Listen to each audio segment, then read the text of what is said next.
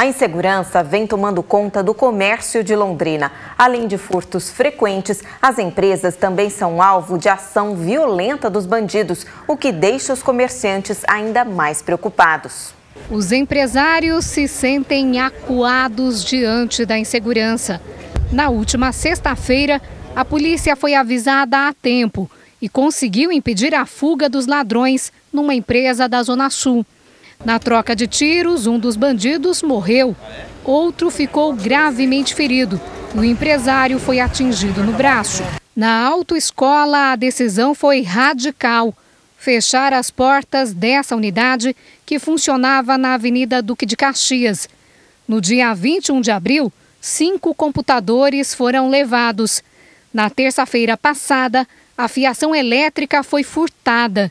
Refeita a instalação, levaram tudo de novo. É bem complicado trabalhar, né? A empresa tem mais de 40 anos em Londrina, só nesse endereço, são quase 40 anos só nesse local. Infelizmente, a gente vai ter que chegar ao ponto de fechar né, as portas nesse endereço. Nessa rede, até agora, os prejuízos foram materiais, mas o trauma ficou. O depósito foi assaltado no dia 17 de abril depois que um funcionário e a mulher dele foram sequestrados quando saíam de casa. Os bandidos levaram aparelhos de TV, fogões de mesa e pneus. Foi bem problemático mesmo. A nossa equipe também foi toda é, algemada, foi toda presa para os ladrões fazerem o roubo, né? Então a gente fica assim com medo da situação que está. Mas, no geral, esse é o objeto mais levado aparelho de celular, fácil de carregar e de repassar.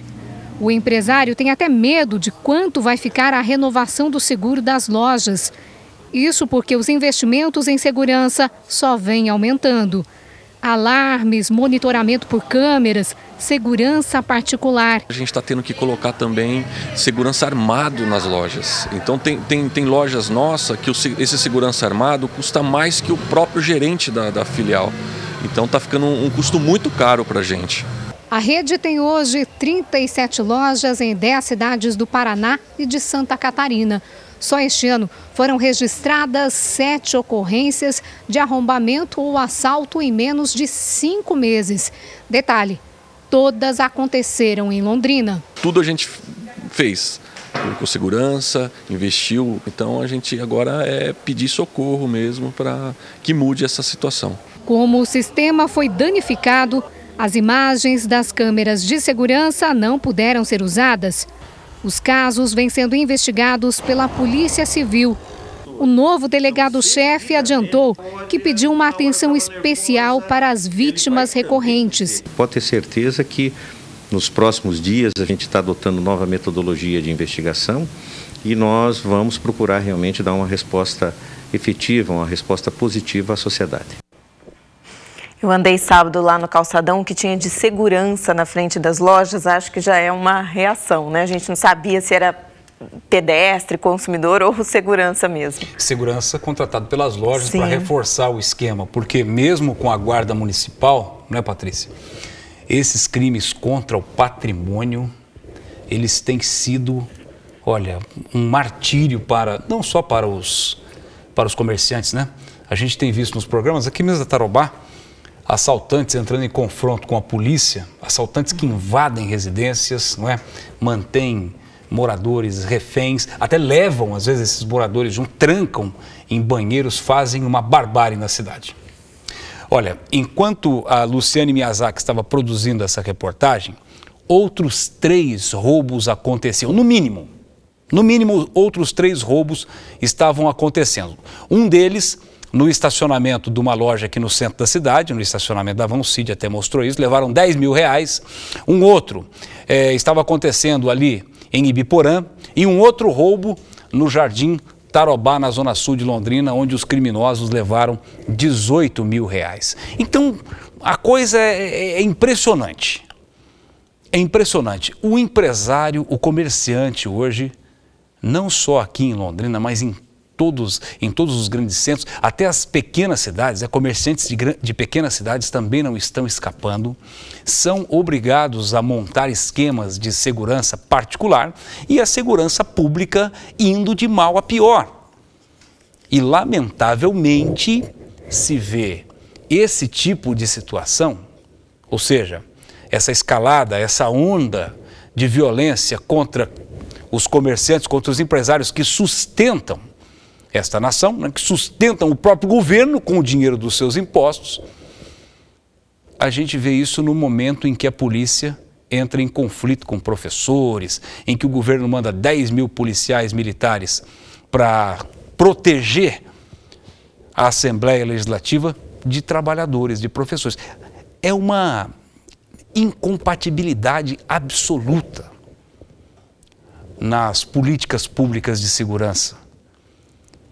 E pior que isso, nós sabemos que determinados crimes jamais são resolvidos, nunca são resolvidos. Por quê? Porque a investigação também é precária. Para se ter uma investigação que se chegue a bom termo, ou seja, o sujeito que roubou a loja, que roubou a casa, que roubou o supermercado, que roubou o estabelecimento, que ele pague pelo que ele fez, o que, que deveria acontecer? No momento em que a polícia chega lá, tem que isolar a área, tem que chamar um perito, mas o perito, onde está o perito? O perito criminal. Ele está atendendo uma outra ocorrência, porque os peritos também são poucos, atendendo centenas de municípios no Paraná.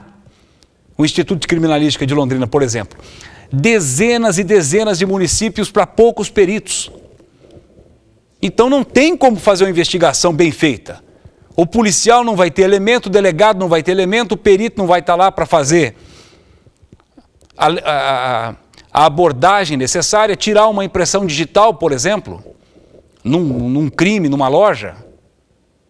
Porque os criminosos já sabem, eles arrebentam o sistema de segurança, de câmeras de segurança. Então é tudo dinheiro jogado fora. E aí o comerciante vai fazer o quê? para compensar tudo isso? Ele vai jogar no preço da mercadoria dele, vai aumentar o, o, o preço porque o custo dele está muito alto.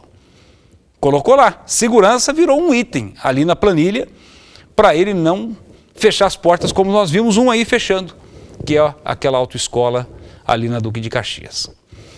Uma série de fatores que eu precisaria de uns três jornais para explicar como é deficiente como é, é nulo, como é frágil o nosso sistema, em que pese a polícia tem aumentado cada vez mais as estatísticas e mandado gente para cadeia, e a gente vê aí os presídios superlotados. Uma incoerência, né? um paradoxo.